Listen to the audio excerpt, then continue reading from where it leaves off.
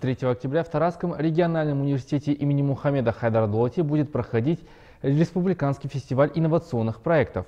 Цель мероприятия – это объединение активной молодежи, формирование и развитие гражданской ответственности, социальной адаптации.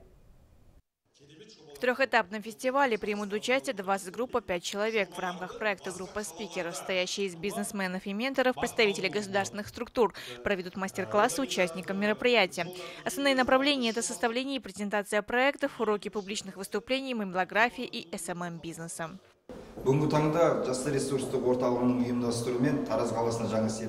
Главная цель проекта – привлечь внимание молодежи к бизнесу, оказать поддержку молодым предпринимателям в осуществлении различных проектов посредством решения проблем города. Это поможет раскрыть потенциал как города, так и молодого поколения.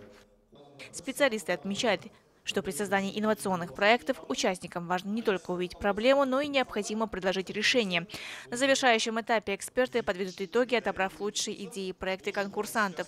Стоит отметить, что фестиваль продлится до 5 октября 2022 года.